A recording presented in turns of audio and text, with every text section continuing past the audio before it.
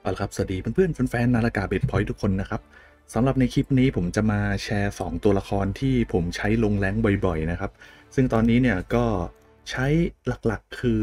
น้องไซแล้วก็ Tessa นะครับผมจิ้งจอกนั่นเอง ถ้าตัว CC เนี่ยผมก็จะเล่น Tessa นะครับ ถ้าตัว damage ผมก็จะเล่นน้องไซเดี๋ยวในคลิปนี้เราจะมาแชร์เทคนิคต่างๆกันนะครับผมที่ผมแบบ อยากจะให้เพื่อนๆรู้นะครับผมว่าแบบเอ๊สองตัวนี้มีเทคนิคอะไรที่ต้องรู้หรือเปล่า แล้วก็ rune จัดยังไง เดี๋ยวเรามานั่งคุยกันไปทีละคนเลยนั่นเองนะครับผมก็นี่เป็นตัวที่ผมใช้ลง rank บ่อยมากช่วงนี้นะครับเห็นดูจากประวัติการเล่นก็คืออมีน้ำแข็งกับทักกระดามาบ้างตอนนั้นคุณผู้ชมขอให้เล่น แต่ว่าหลักๆเลยเนี่ยมีน้องจื้อผิงด้วย จะเป็นไซแล้วก็ Tessa นั่นเองนะครับผมเราไปคุยกับเรื่อง skill ที่ใช้บ่อยๆก่อนเลยแล้วกันนะครับ เดี๋ยว rune จะเป็นทีหลังนะครับ เดี๋ยวผมมาเริ่มที่น้องไซก่อนเลยแล้วกันนะครับสกิลของน้องไซที่ผมเลือกใช้เนี่ยก็จะเป็น F3 แล้วก็ ulti 2 นะครับผมใช้ ulti F3 เพราะว่าอันติ F3 เนี่ยสามารถใช้ประโยชน์ได้หลายอย่างนะครับ ไม่ว่าเราโดนรุมอยู่แล้วเราบินขึ้นฟ้านะครับ หรือว่าเราสามารถใช้ F3 เพื่อพุ่งเข้าไปหาศัตรูตรงๆ ได้นะครับผมโดยที่ skill F3 เนี่ยจะมีความแรงคูณกับอาวุธที่เราใส่นะครับผมอย่างเช่นผมใส่อาวุธทองก็จะแรงที่สุด แต่ถ้าใส่อาวุธม่วงก็จะแรงรองลงมานะครับ เดี๋ยวเรามา test damage ให้ดูนะครับ ผมอันนี้คืออาวุธทองนะ กด F แล้วพุ่งไปใส่ Okay. ประมาณ 352 นะครับ และจะทำให้ศัตรูติดสถานะเผาไหม้ด้วยนะครับผมซึ่งสถานะเผาไหม้เคยพูดไปหลายคลิปแล้วนะครับ สถานะเผาไหม้มันทำให้ศัตรูเลือดลดตรงๆนะครับผมโดยที่ไม่สนเกราะนะครับแล้วก็จะทำให้การ heal ลดผลลง 50%นะครับเพราะฉะนั้นสถานะเผาไหม้เนี่ยน้องไซ ทำได้นะครับผมเป็นอะไรที่แสบมากเลย โอเค มาดูอาวุธม่วงกันนะครับผมอาวุธม่วงจะชนเท่าไหร่ reset ก่อนปึ๊บชึบอาวุธม่วงอยู่ที่ 308 นะครับผมซึ่งก็เป็นสกิล F ที่มีความแรงน่าประทับใจนะครับผมประมาณ 300 นี่คือครึ่งครึ่งของการชาร์จครั้งหนึ่งเลยนั่นเองนะครับเพราะฉะนั้นสกิล F เนี่ยผมเลยเลือกใช้เป็นสกิล F3 นะครับผมหรือคุณผู้ชมเอาแบบ safe safe ๆนะครับผมใช้เป็นสกิล F1 ก็ได้นะครับ เพราะว่าสกิล F1 เนี่ย เวลาเราโดนโจมตีเนี่ยเราสามารถที่จะแบบกดใช้หนีการโจมตีได้เลยนะครับ โดนเมอร์ซิเลตโดนดาก้อนรอนะครับผมดอกเนี่ยก็สามารถที่จะกด F1 เพื่อหนีออกมาได้เลย หน้าตาของ F1 เป็นอย่างนี้เดี๋ยวผมให้ดูแล้วกัน สมมุติว่าศัตรูกำลัง combo ผมเลยนะอะกด F หนีมาได้เลยอ่านี่คือข้อดีของ F1 กด F อีกทีก็เป็นท่านี้ทำ damage ร้อยกว่าๆประมาณนี้นะครับผมแต่ส่วนตัวเนี่ยตอนนี้ผมค่อนข้างติด skill F3 นะครับผมเพราะว่ามันใช้หนีได้สะใจมากเลยเองครับ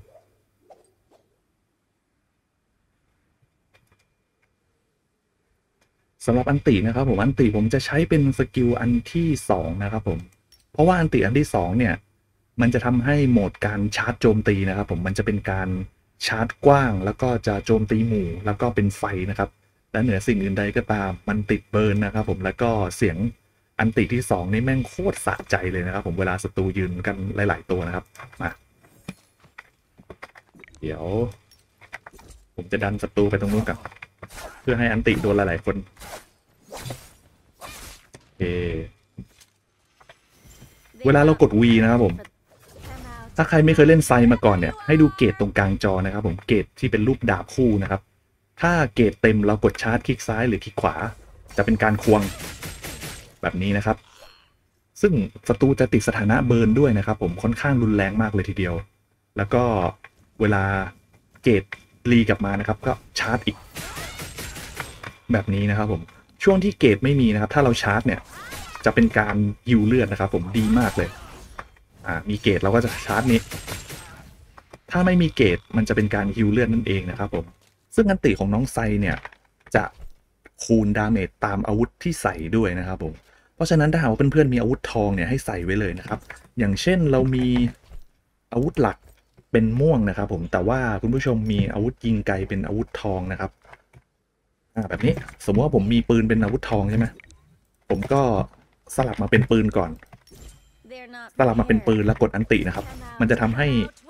ดาบของน้องไซเนี่ย มันจะเป็นอันทองเห็นไหมครับ ซึ่งจะทำให้การโจมตีแรงขั้นสูงสุดนั่นเองนะครับ ประมาณนี้นี่เป็นเทคนิคนะครับก็คือ ถ้าหากว่าคุณผู้ชมมีอาวุธยิงไกลที่เป็นทอง หรือว่าอาวุธยิงไกลที่เกรดดีที่สุดนะครับ ให้ถือไว้แล้วก็กดอันตินะครับ มันจะทำให้อาวุธของน้องไซในโหมดอันติเนี่ย มันจะเป็นอาวุธทอง ซึ่งก็จะรุนแรงที่สุดนั่นเองนะครับ นอกเหนือจากนี้นะครับ ผมไซยังสามารถอัปเกรดพลังโจมตีได้ด้วยการใส่เจดอาวุธนะครับ ผมเจด attack ผมแนะนำว่าให้ใส่ให้ได้ 16%นะครับผม นี่ก็คือแบบขั้นแรงสูงสุดนั่นเองนะครับ เรามีเจดอาวุธ 16%ผสมกับอาวุธทองนะครับ ผมจะทำให้ไซในโหมดอันติโจมตีแรงมาก ๆ นะครับผมนะดูดิ แค่ชาร์จก็พันห้าแล้วอะแรงแบบแรงชิบหาย โอ้โห ใครจะหยุดเธอได้ครับ แต่สกิลพุ่ง ก็จะแรงขึ้นด้วยนะครับ ผมเกือบ400แล้วอะตอนเนี้ย โอเค มาคุยกันเพิ่มอีกนิดนึงนะครับ ผมสำหรับสกิล not F นะครับ สกิล torment that F ของ awaits. น้องไซเนี่ย จะสามารถใช้ได้ 2 ครั้งถ้าคุณผู้ชมกดอันตินะครับ ก็คือถ้าผมกดสกิล F ปึ๊กแล้วผมกดอันติ Come out, สกิล F จะรีเซ็ต come out, ทันทีนะครับ wherever you are. สามารถใช้ได้อีกรอบหนึ่ง ซึ่งเราจะใช้หนีไปตั้งตัวหรือว่าจะใช้บุกเข้าไปก็ได้นะครับนี่ก็คือให้คุณผู้ชมรู้ไว้ว่าสกิล F เนี่ย Not yet. พอคุณผู้ชมจางตินะครับ ให้กดสกิล F ก่อนรอบหนึ่งเพื่อใช้มันก่อนแล้วกดอันติ Come out, ก็ come ใช้อีกรอบหนึ่งแบบนี้นะครับ อันนี้เป็นเทคนิคที่นำมาฝากกันนะครับเผื่อคุณผู้ชมไม่ได้สังเกตนะครับว่าอันติน้องไซเนี่ยมันทำให้สกิล F รีนั่นเองนะครับผมก็คือเวลากดอันติปุ๊บสกิล F มาเลยแล้วก็ใช้ในการเอาตัวรอดหรือว่าใช้ในการบุกเข้าหาศัตรูก็ได้นะครับ คือสกิล F น้องไซเนี่ยบางทีแบบผมโดนรุมแล้วผมใกล้ตายนะจะกระโดดหนีขึ้นฟ้าไป แล้วก็ไปหาที่ฮิว แล้วก็ลงมาสู้ต่อ อะไรประมาณนี้นั่นเองนะครับ อันนี้ก็เป็นเทคนิคในการเล่นน้องไซนะครับ คือน้องไซเนี่ยมี ulti ที่รุนแรงมากๆนะครับ แล้วก็ ulti ของเขาอยู่ได้ 30 วินะครับ ในขณะที่ไซ ulti เนี่ยศัตรูก็จะแบบหนีไปคนละทางนะครับ เพราะคงไม่มีใครอยากจะโดนน้องไซโจมตีหรอกนึกออกใช่ไหมครับ ก็เป็นตัว DPS ที่ค่อนข้างยืดหยุ่นนะครับ ผม เพราะว่าอันติของเขาอยู่นาน มันทำให้ศัตรูเนี่ย ไม่อยากจะสู้กับน้องไซเท่าไหร่นะครับ เพราะว่าการโจมตีของน้องไซเนี่ย เป็นการโจมตีแบบ ทองด้วยนั่นเองนะครับมาผมปูพื้นฐานให้เพื่อนๆนิดนึงนะครับ เพราะว่าเรายังไม่ได้ทำคลิปเกี่ยวกับอ่าโหมดฟ้าม่วงทองนะครับผมมาการโจมตีของน้องไซในโหมดอันตินะครับผม Come out, Ah. come out, wherever you ตอนผมชาร์จโจมตี สังเกตว่าตัวละครเราจะเป็นร่างทองเห็นไหมครับ เป็นร่างทอง ซึ่งร่างทองคืออะไร ถ้าเราโจมตีเป็นร่างทองนะครับ ศัตรูจะไม่สามารถขัดการโจมตีของเราได้นะครับ ผมยกเว้นเขาใช้ทองเหมือนกับเหมือนกันสวนกลับมานึกนึกออกใช่ไหมครับสมมติผมชาร์จทองเนี่ยแล้วศัตรูมันชาร์จฟ้าใส่เนี่ย มันจะไม่สามารถหยุดได้นะครับผมมาเดี๋ยวผมจะให้เห็นภาพเลยเดี๋ยวผมจะให้เห็นภาพ They're not อะ prepared ผมจะให้ศัตรูชาร์จนะ for the torment that awaits ผมให้ศัตรูชาร์จ them. Come out, come out, ผมจะชาร์จกลับ wherever you are. เอาดิ เนี่ยเห็นไหมครับว่าศัตรูเขาไม่สามารถเบรกเราได้นะครับผมเราชาร์จทองเนี่ย มันทำอะไรเราไม่ได้เลยนะครับ ชาร์จทองใส่ ผมให้มันตีเลยเนี่ยเห็นไหมครับ ขนาดว่าเขาพุ่งมาแทงผมเห็นเห็นเลยนะอะเนี่ยเขาแทงผมแต่เขาเบรกผมไม่ได้ นี่คือนี่คือสถานะทองนั่นเองนะครับ ผม ก็ที่จะบอกก็คือตอนน้องไซอันตินะครับผม ถ้าเราชาร์จโจมตีเนี่ย จะเป็นโหมดสีทองนะครับผม ชาร์จนี้ก็โหมดสีทอง ซึ่งเวลาตอนที่ตัวละครเราเป็นโหมดสีทองเนี่ย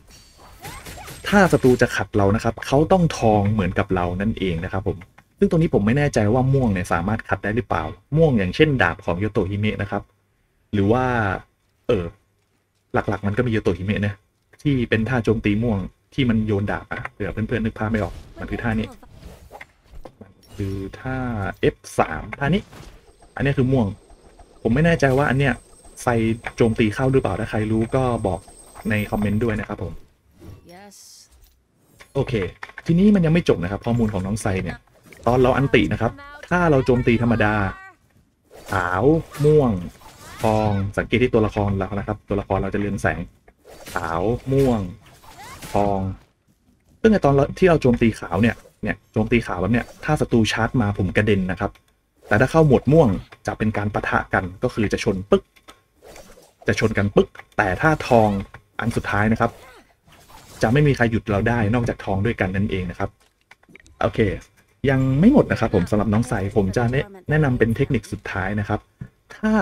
เราสู้กับศัตรูนะครับ ถ้าศัตรูไม่หนีเรา ถ้าศัตรูวิ่งเข้าหาเรา ถ้าศัตรูวิ่งเข้าหาเรานะครับ ผม ให้เราชาร์จใส่เนี่ยถ้าศัตรูสู้เราให้ชาร์จใส่นะครับ ชาร์จอย่างเดียวเลยไม่ต้องตีธรรมดา อันนี้ในกรณีศัตรูเขาไม่หนีเรานะเนี่ยไม่หนีเราเงี้ยเราชาร์จอย่างเดียวเลย แรงมากนะครับ ผมชาร์จนี่คือแบบไม่ว่าจะเป็นชาร์จชาร์จเกตหรือชาร์จแบบนี้ก็แรงนะครับ และดูดเลือดด้วย เพราะฉะนั้นเวลาคุณผู้ชมเล่นไซเนี่ยผมแนะนำให้ชาร์จไปอย่างนี้เลยนะครับเพราะการชาร์จเนี่ยตัวละครเราอยู่ในโหมดทองนึกออกใช่ไหมครับเนี่ยอยู่ในโหมดทอง มันทำให้ ศัตรูไม่สามารถขัดเราได้นะครับผม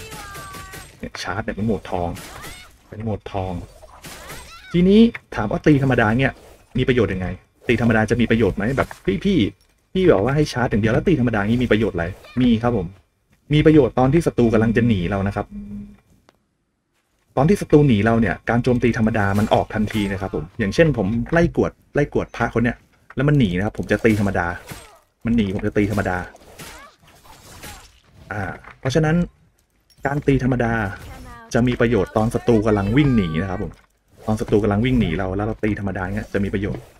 แต่ถ้าศัตรูเขาไม่หนีนะครับ แล้วเขาสู้เราเนี่ยผมจะชาร์จอย่างเดียวก็ชาร์จแรงมากนะครับผมหกร้อยดูดเลือดด้วยหกร้อยดูดเลือดด้วย แต่ถ้าเป็นอาวุธม่วงก็น่าจะประมาณห้าร้อยกว่า ซึ่งก็ถือว่าแรงโคตรๆนะครับ และเป็นร่างทองด้วย ไม่มีใครสามารถขัดเราได้นะครับ โอเค นี่ก็คือเทคนิคของไซนะครับ ที่ผมเอามาฝากก็เป็นตัว DPS ที่ผมชอบที่สุดในเกมนะครับ มันมีความยืดหยุ่นอะคือ ulti มันอยู่นานนะครับ ผมแล้วก็เป็นชาร์จทองด้วยนะครับ ผมน้องไซเนี่ยไม่ว่าจะผ่านไปกี่ patch กี่ patch นะครับผมก็ยังเก่งเหมือนเดิมโดน nerf เท่าไหร่ก็ยังเก่งเหมือนเดิมนะครับในมุมมองของผมนะเป็นตัวละคร DPS ที่ผมชอบที่สุดในเกมตอนนี้แล้วนั่นเองนะครับ มาต่อมาเรามาคุยกับเทซ่ากันบ้างดีกว่าครับ You ready for some เอาเอางี้ดีกว่า ให้ดูรุนน้องไซก่อน ออกไปให้ดูรุนน้องไซก่อน จะได้ต่อเนื่องครบครบนี่คือรุนน้องไซของผมนะครับ ที่ผมรู้สึกว่ามันเหมาะกับสไตล์การเล่นของผมที่สุดนะครับ ซึ่งใครอาจจะไปปรับเปลี่ยนก็ได้นะครับผม สีแดงผมจะใช้เป็นแดดสี่ช่องนะครับ แดดสี่อัน สีแล้วก็จะมีอันติมาไวสองช่องนั่นเองนะครับ เหตุผลที่ผมให้อันติมาไวสองช่องเพราะว่ามันกำลังดีสำหรับผมเลย แล้วก็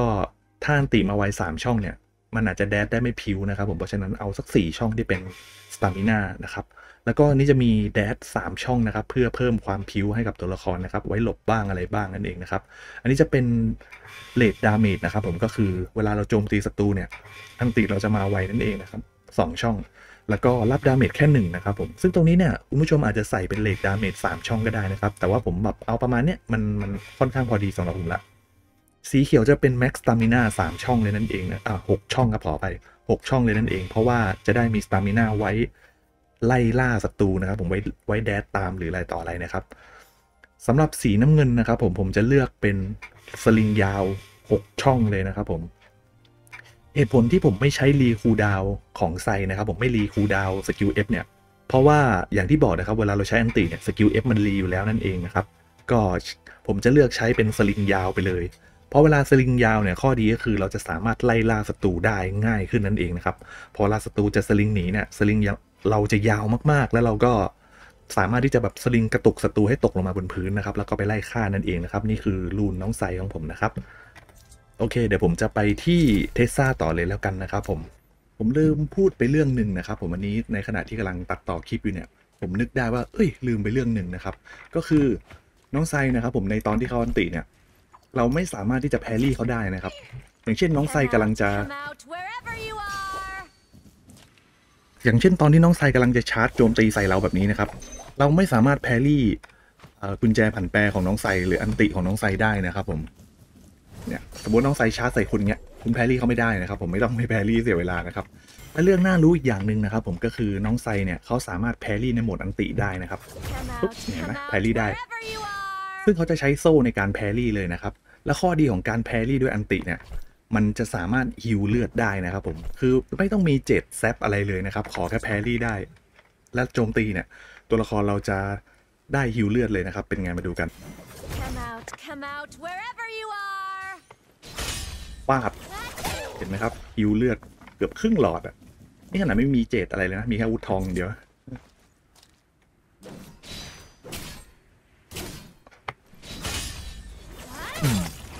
อ่าเห็นไหมครับผมฮิวเลือดขึ้นมานะครับ ซึ่งการที่ไซได้ parry ในร่าง ulti นี่อะมันดีอย่างนี้นี่เอง คือฟาดกลับไปก็แรงนะครับ ฟาดด้วย ulti แล้วก็แถมยังมีฮิวเลือดด้วยนะครับมาอีกสักรอบ Come out, come out wherever you are. ปากเขาให้แต่เหมือนว่ามันจะมีลิมิตในการฮิวอยู่นะเนี่ยบางทีก็ฮิวน้อยฮิวเบาอะไรแบบนี้ผม ยังไม่แน่ใจนะครับผมฮิวน้อยฮิวเบาเลยผมยังงงๆอยู่ว่า มันขึ้นอยู่กับหลักอะไร บางทีก็ฮิวแบบแรงเลย เอาเป็นว่าให้รู้ไว้ว่าตอนอันติ ถ้าเราเคาน์เตอร์ได้เนี่ย ในร่างอันตินะ แบบไม่ต้องมีเจดแซปอะไรเลย เราสามารถฮิวเลื่อนได้นั่นเองนะครับ อันนี้ก็เอามาแทรกไว้ในคลิป เพราะว่าจริง ๆ ผมเตรียมที่จะตัดต่อคลิปแล้วก็ออกคลิปแล้วแต่ว่า ลืมพูดประเด็นนี้ไปนะครับ ผมก็ขอแทรกไว้ตรงกลางเลยแล้วกันนะครับ You ready เห for ตุผลที่ผมชอบเล่นน้องเทสซาที่สุดตอนนี้นะครับ ในบรรดา CC เนี่ยเพราะว่า skin สวยครับ ไม่ใช่ เพราะว่าสกิลของเขาครบเครื่องที่สุดตัวหนึ่งเลยนั่นเองนะครับ แถม ulti เนี่ยสามารถแบ่งใช้ได้ด้วยนั่นเองนะครับ มีสกิล F ที่สามารถใช้ขัดคอมโบศัตรูได้ สกิล F ที่สามารถใช้ขัด earthshaker ขัดอะไรต่ออะไรได้นะครับ ผมมันดีมากๆเลย ก็คือ อย่างเวลาเราโดน parry เนี่ยเราสามารถใช้หางฟาดได้ด้วยนั่นเองนะครับ เดี๋ยวอธิบายสกิล F ก่อนแล้วกันนะครับผมสกิล F ของน้องเทซ่านะครับผมจัดเป็นโหมด usable attack นะครับ ก็คือเป็นสกิล F ที่สามารถใช้ได้ แม้เราจะโดน parry แม้เราจะโดนรุม แม้เราจะโดน earthshaker แม้เราจะโดนเดดฟูลของมีดนะครับผมก็คือเป็นสกิล F ที่ใช้ตอนไหนก็ได้นะครับผมแล้วเวลาเราใช้สกิล F เนี่ยเทซ่าจะทำการฟาดศัตรูออกไปนะครับผมให้กระเด็นแบบนี้ซึ่ง อะผมยกตัวอย่างให้ดู สมมุติว่าผมโดนคอมโบนะ สมมติว่าผมโดนศัตรูอะลำลำลำผมดีดมันออกไปได้ เพื่อช่วยเหลือตัวเองแบบนี้นะครับ ซึ่งเป็นสกิลที่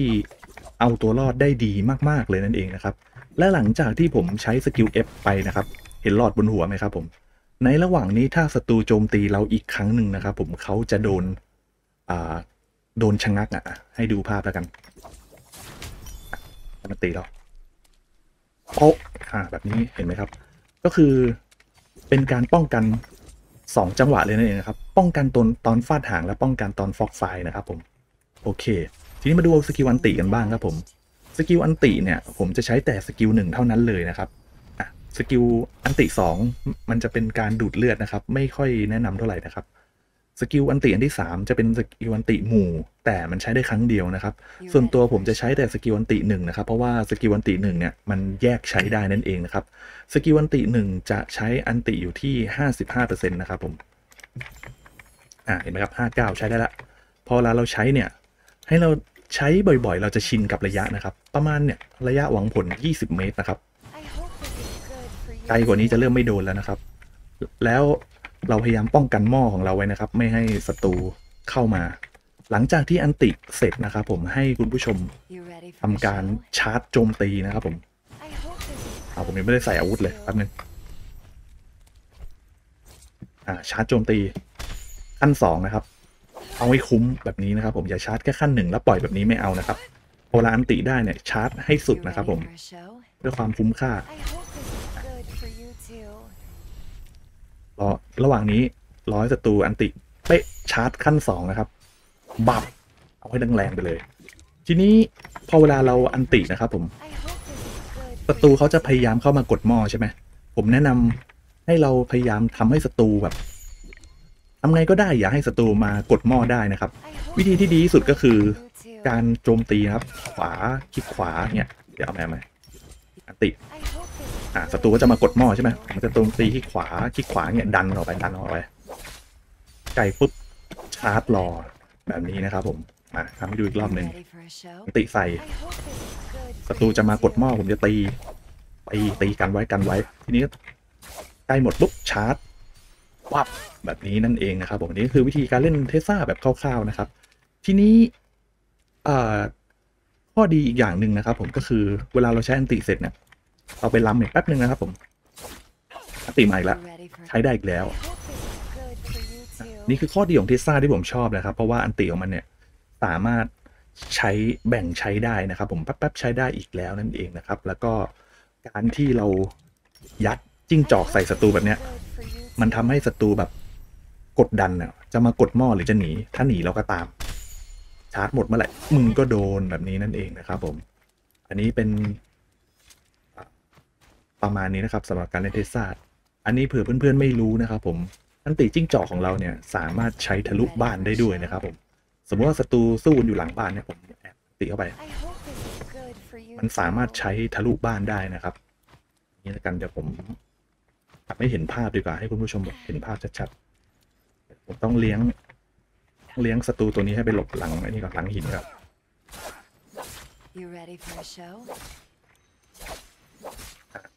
You ready for a show? ศัตรูอยู่ตรงนี้นะครับ เดี๋ยวผมจะ Let's ศั meet. ตรูอยู่นี่นะครับ เดี๋ยวผมจะอันติทะลุเข้าไป สมมติว่าเราเรารู้ว่าเขาสู้อยู่ตรงนี้นะ อันติเข้าเลย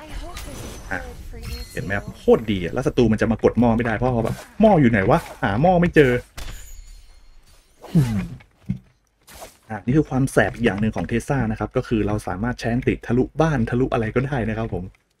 แล้วเวลาผมไปเล่นสามคนน่ะ เวลาเพื่อนเราไปบวกใช่ไหมแล้วศัตรูมันกำลังรุมเพื่อนน่ะ ผมก็จะอาศัยจังหวะทีเผลอที่ศัตรูกำลังรุมเพื่อนครับ ผม ulti เข้าไปเลย ผมรีเซ็ตมาตรง ไม่โดนเอามาเอามามาอ่าประมาณนี้นั่นเองนะครับ โอเค มีเรื่องอะไรจะพูดอีกเกี่ยวกับเทสซาก็ประมาณนี้แหละครับ ผมเกี่ยวกับเทสซาก็คือให้เราพยายาม ultiตอนที่ศัตรูเผลอๆนั่นเองนะครับอ้ออีกเรื่องหนึ่งที่ต้องพูดนะครับ ผมในไลฟ์สตรีมเนี่ยจะเห็นว่าผม ulti โดนบ้างไม่โดนบ้างนะครับ เพราะว่า ulti ของเทสซาเนี่ย มันไม่ได้แบบกดแล้วปล่อยเลยนะครับ ผมมันจะมีระยะเอ่อปล่อยแบบนี้นั่นเองนะครับ ผม มันจะมีระยะที่แบบ กดปุ๊บคือคุณผู้ชมต้องเล่นให้ชินนะครับ ผมยอมรับเลยอันติมันอันติ F1 เนี่ยมีมันมีความใช้โดนยากนิดนึงนะครับ ผม คืออืม I ปล่อย มันจะมีระยะแบบว่าแบบที่มันยังไม่ปล่อยอะก็คือ เราต้องแบบสะบัดเมาส์ตามศัตรูอะ เทคนิคของผมก็คือ พยายามให้ศัตรูอยู่กลางจอครับยังไงก็โดน คือแบบพยายามหันจอเราอะศูนกลางจอเราให้อยู่แบบกลางศัตรูแบบเนี้ยสมมติว่าผมเริ่มใช้ตรงเนี้ย แต่ผมหันจอไปเห็นไหมมันก็ยังโดนนะครับผม สมมติว่าผมแบบหันจอมาทางเนี้ยนะแล้วผมก็หันจอมา มันก็ยังโดนอยู่ดี อย่างเงี้ยนะคือเวลาเล่นจริงๆอะจังหวะที่จิ้งจอกกำลังจะวิ่งไปนะครับผมคือจังหวะที่สำคัญที่สุดเห็นไหมครับ อันเนี้ยอันเนี้ยแบบ ไม่โดนแบบนี้ต้องหัดนะครับผมคือเวลาไปเล่นจริงอะมันใช้ยากมากนะครับอันติเนี่ยแต่ก็ยากแต่ก็ไม่ได้ยากแบบ impossible นะครับผมคือเล่นผมก็ยอมรับว่าผมก็มีอันติแบบไม่โดนหลายรอบนะครับ บางทีศัตรูยืนกันสามตัวเนี่ยผมอันติไม่โดนก็หลายรอบนะครับผม อืม มันมีโอกาสที่จะไม่โดนนะครับผมแต่ว่าถ้าศัตรูอยู่กลางจอแล้วอยู่นิ่งๆเนี่ยยังไงก็โดนนะครับผม โอเค นี่ก็ เป็นการเล่นเทสซาในสไตล์ของผมนะครับผม F1 อันติหนึ่งชาร์จสองปุ้งโอเคทีนี้ไปดูตัว rune ที่ผมใช้เล่นเทสซากันบ้างนะครับ rune ของเทสซานะครับ ผมจะแบ่งเป็น 2 โหมดหลักๆนะครับ ก็จะเป็นโหมด ulti ไวแบบสุดขีดนะครับ กับอัน ulti ไวสุดขีดเนี่ยเอาไว้ใช้ตอนที่เราโดนเกิดหยัดหัวนะครับ แต่ถ้าเป็น โหมด balance นะครับ ก็คืออันนี้ซึ่งเพื่อนๆสามารถ copy ไปเล่นได้เลยเดี๋ยวผมจะอธิบายให้นะครับ ด้วยความที่ว่าเทสซาเป็นตัวละคร CC นะครับผมผมเลยเน้นการวน ulti ให้บ่อยที่สุดเท่าที่จะทำได้นะครับ ผมก็คืออันติได้บ่อยสกิล F ได้บ่อยนะครับ เพราะฉะนั้นมันจะเป็นการใส่ผสมผสมกันนะครับสำหรับ re ulti ไวใส่ 3 ช่องนะครับ ผมอันนี้อร่อยเลย คือ re ulti ไว3ช่องเนี่ยเป็นอะไรที่อร่อยมากนะครับ มัน re ulti ได้ไวทันใจมากๆเลย